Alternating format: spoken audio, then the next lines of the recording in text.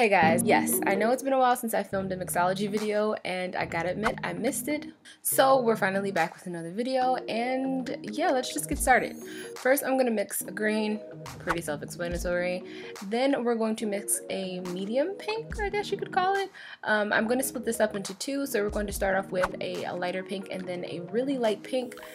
But I'm going to go back into that and I'm actually going to add some purple to this pink because I wanted to have a mauvey undertone. And next we're going to mix something I know that you guys have actually been waiting for me to do for a really long time now. So I'm going to show you how to mix a black. So as you guys know from our desaturation video, when you add opposite colors to each other, they desaturate them. So we're going to mix an orange and a blue. And this is actually going to give us a really deep color, but this is kind of like navy. Every now and then you can kind of check it because like I said, proportions are important. So you just mix it till it looks about right. So as you can see, I have a black and just to check that, I'm going to add a little bit of white. And as you can see, it's gray, which means it's black. And lastly, I'm just going to mix this black actually with a red to make a burgundy wine color. And I also mixed an orange. Sorry, I didn't show you that. Let's get on to the demo. Um, I'm going to, of course, apply my base coat and then cure that in an LED or a UV lamp. So now I'm just going to take my colors and I'm applying them really randomly to the nail. Um, I'm actually not curing in between doing this as well. So you can just kind of slap all of these on. You can make them really sheer. You can make them really bold. It's entirely up to you. This is just what I did. And if you guys aren't familiar with working with gel, basically you um, don't have to be concerned with curing in between your layers when you're using different colors as long as you're not touching other products. So if you don't want to sheer, thin, or blend them out, it's absolutely fine to not cure in between. However, as you can see right here, I'm overlapping my burgundy over top of another color, so of course I need that layer to be dry.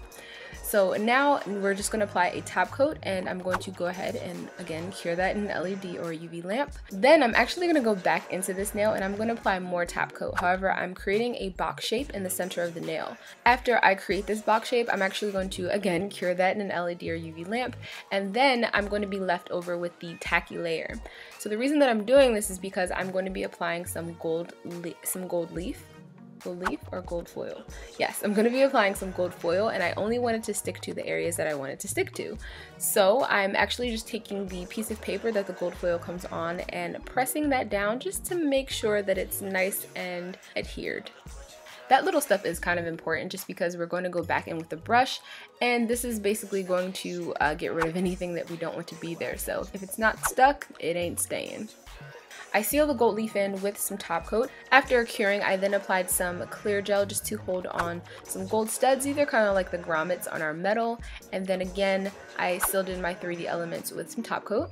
After you cure in the LED or UV lamp, you just want to remove that inhibition layer that's left over and then we're done guys.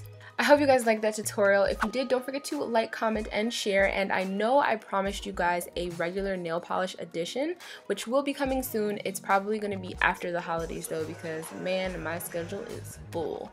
Um, but if you haven't seen the other videos from this series, then make sure you click on one of these three videos.